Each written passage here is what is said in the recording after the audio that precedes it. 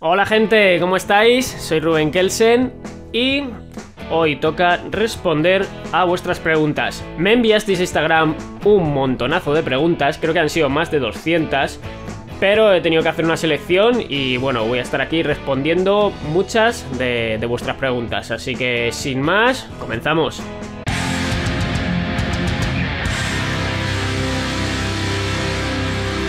Voy a mirar la chuleta que la tengo ahí. Y la primera pregunta es de Ali EST37 que dice, de los tres discos, ¿cuál es tu favorito? Saludos desde México. ¿Qué voy a deciros? Eh, siempre que un artista saca un disco, va a decir que el nuevo disco es su favorito, porque si no, no hay manera de, de venderlo. Tienes que decir, esto es lo mejor, eh, cómpramelo. Pero sí que os tengo que decir que estoy muy muy ilusionado con este tercer disco y joder, estoy súper contento. Yo sinceramente creo que es un trabajo en el que de verdad hemos plasmado lo mejor de nosotros mismos y ha quedado brutal. Para mí es el mejor. Así que estoy deseando de que salga ya la luz y que todos podáis escucharlo. Villariadne pregunta, ¿audicionaste para Mago de Oz? Sí, eh, hice el casting para, para cantante de Mago de Oz hace ya muchos años. Eh, no recuerdo bien si fue en el 2011 o 2012, no, no, recuerdo bien, la verdad. Pero cuando me enteré de que Mago de Oz buscaba cantante, enseguida me presenté. Lo que pasa es que en ese momento yo tenía 18, 19 años y era muy joven para entrar y me faltaba mucha experiencia. Pero tengo una anécdota. Eh, un día en, un ordenador, no voy a decir de quién, y, había una carpeta que ponía Casting Mago de Oz. Y dentro de la carpeta había otras 10 carpetas de cantantes. Era una selección que hicieron de cantantes de todos los que enviaron las pruebas eh, a través de internet. Hicieron una selección de 10 y ya de esa selección sé que seleccionaron a 3 para hacer la prueba presencial.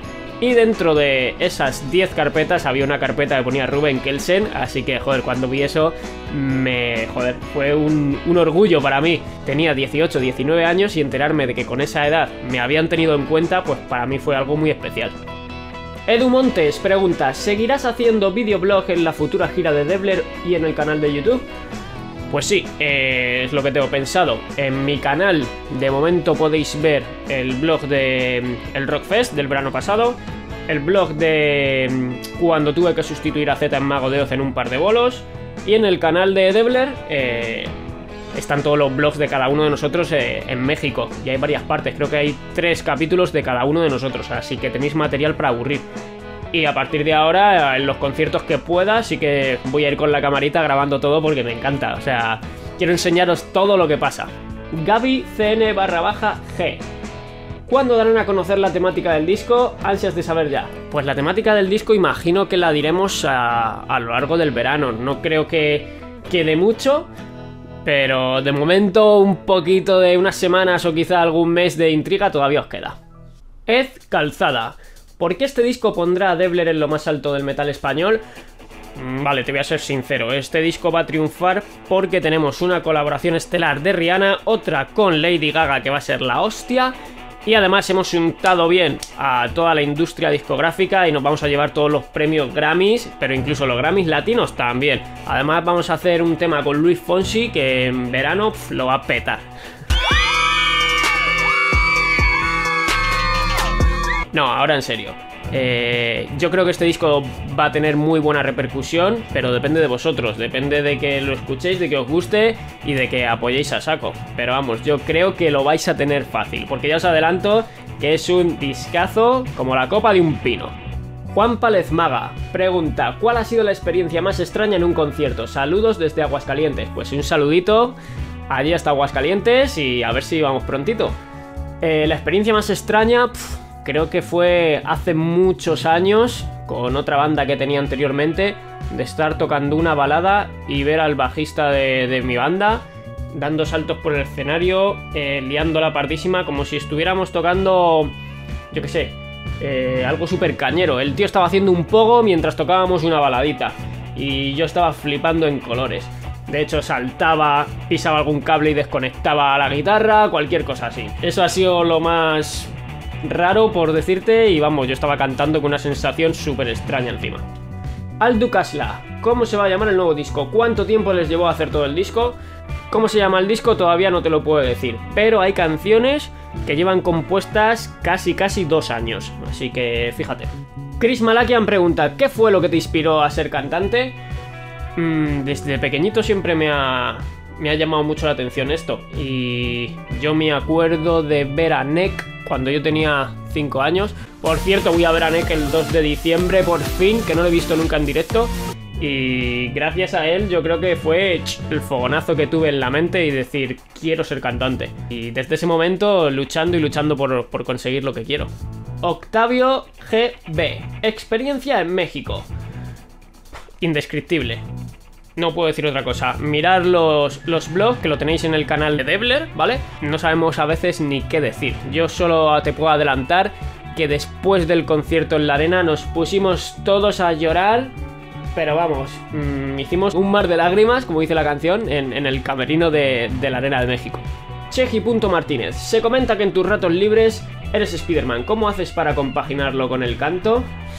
Eh, pues... A ver, por la mañana los malos están durmiendo, están ahí echándose la siesta para tener fuerzas por la noche. Lo malo es que hay algunos días que cuando me toca cantar están ahí atracando ancianitas y tengo que ir a salvarles. Entonces, entre canción y canción me escapo en un momento, pero vamos, algo muy sencillo para un héroe como yo. Vale, seguimos. Ángel barra baja ASC99 pregunta, ¿el nuevo disco será basado en una historia como los dos anteriores? Sí, eh, va a estar basado en una historia, pero es algo un poquito distinto, ¿vale? Hemos cogido un personaje que conoce absolutamente todo el mundo y le hemos dado un toque de Blair. Así que a ver qué sale de aquí y a ver si os mola. Héctor barra baja 1844 pregunta ¿Qué es lo que nos espera para el próximo álbum de Debler? Eh, os espera una adicción brutal.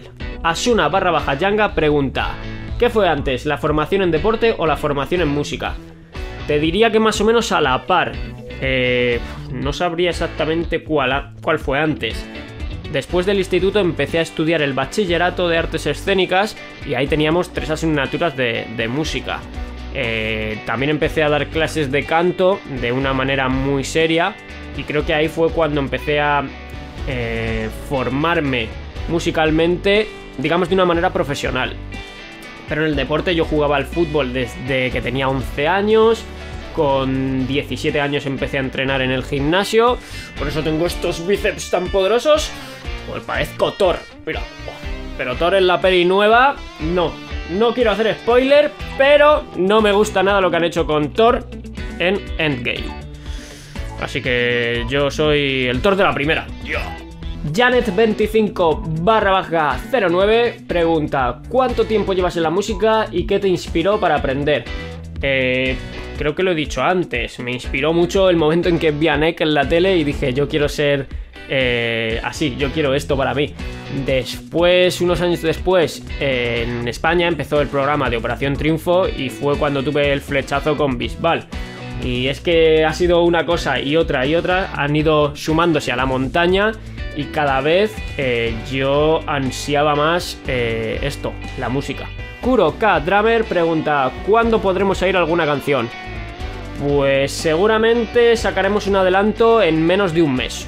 Adri Delirium Demens pregunta, ¿llegaste a hacer conciertos como guitarrista? Sí, eh, exclusivamente como guitarrista no, pero como cantante y guitarrista sí. Eh, en un grupo que tenía anteriormente, Bestia Negra, yo me ocupaba de las guitarras rítmicas y de la voz.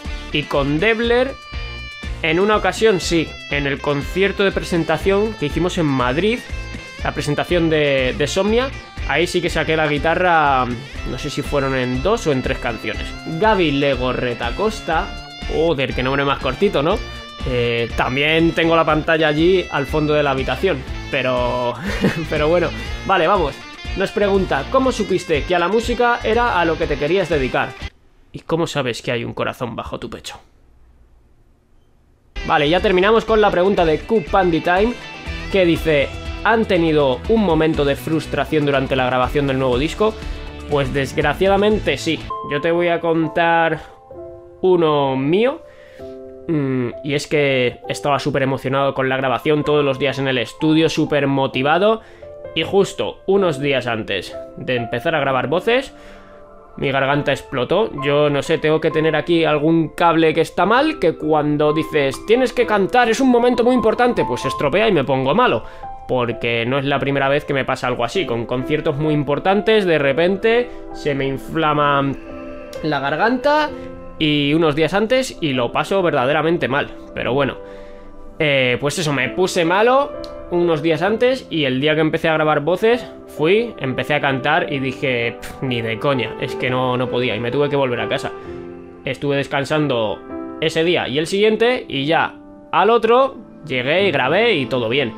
Y ya del tirón, o sea, guay, pero una sensación de, joder, he ido al estudio para nada y no sé, lo, lo paso realmente mal. Y yo creo que es muchas veces que le doy tanta importancia a esto y pienso tanto en no te pongas malo ahora, que mi cabeza dice, ¡pum!, estalla y es el momento. Pero bueno, así soy yo. Y al fin y al cabo, el disco ha quedado que te cagas. Empecé a grabar voces eh, ese día, no pude, me fui a casa, descansé dos días, volví y a tope. Y han quedado unas voces de lujo. Así que muy contento, muy contento, pero ese momento pues lo pasé bastante mal. Y nada amigos, hasta aquí el vídeo de hoy. Si os ha gustado esto, pues dejármelo aquí, darme un like, bueno, eh, escríbeme en comentarios si te ha molado este tipo de vídeos para poder hacerlo más a menudo. O si no me dices, este vídeo ha sido una mierda, quiero que hables de tal. O, o cualquier cosa. Y nada, nos vemos en el próximo vídeo. Un abrazo.